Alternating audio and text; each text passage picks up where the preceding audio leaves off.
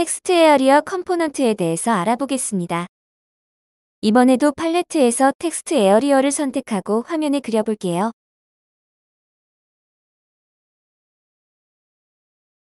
저장 후 브라우저에서 확인을 해봅니다.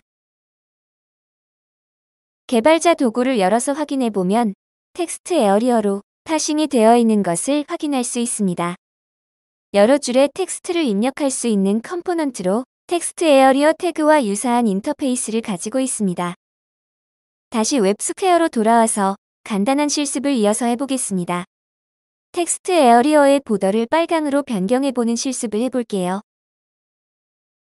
이번에는 프로젝트 안에 만들어 놓은 common.css의 class를 작성해 볼게요. 우선 common.css를 XML 파일에 import 시키는 방법을 알려드릴게요. Project Explorer에 있는 common.css를 선택하고 drag and drop으로 XML에 끌어다 놓습니다. source tab 상단으로 이동해 보면 CSS 파일이 import된 것을 확인하실 수 있어요.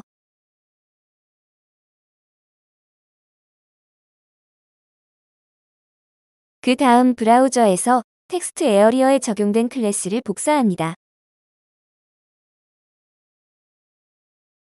common.css에 복사한 class를 붙여 넣어주고 border를 빨강으로 적용합니다. 브라우저에서 새로 고침을 하고 textarea의 border 컬러를 확인해 보세요. 빨강으로 잘 적용이 된 걸 확인하실 수 있습니다.